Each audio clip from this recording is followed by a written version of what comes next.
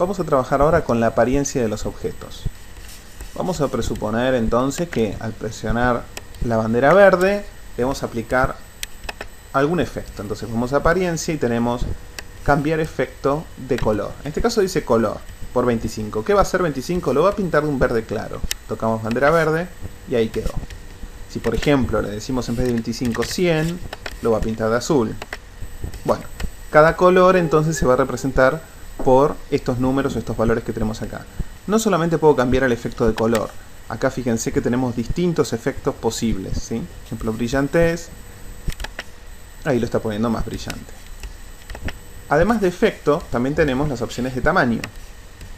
Entonces, podemos ver que le cambiamos el efecto o podemos jugar con los dos o con uno a la vez. En este caso, para que se vea bien, vamos a poner el tamaño.